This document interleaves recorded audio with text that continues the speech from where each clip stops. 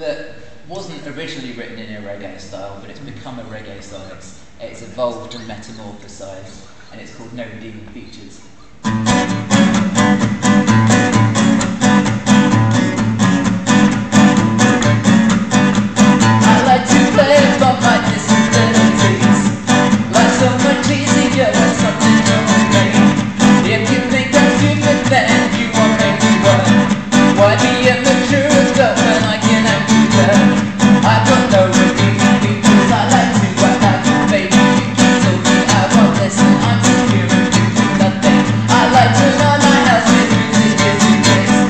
Nobody knows.